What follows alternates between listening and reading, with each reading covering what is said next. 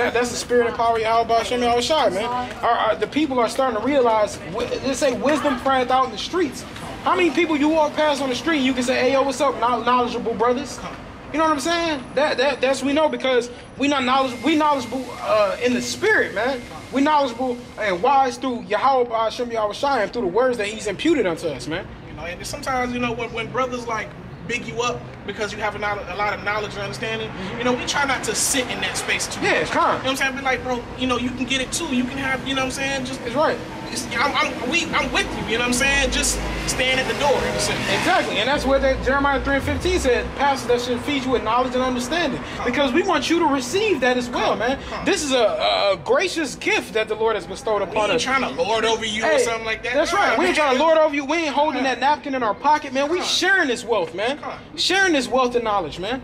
You know, so uh, Lord willing, the, the people receive it and uh, be able to take hold on it a- a- as the Heavenly Father receive, as the Heavenly Father wants. You know, um, but uh, we about to start a new video.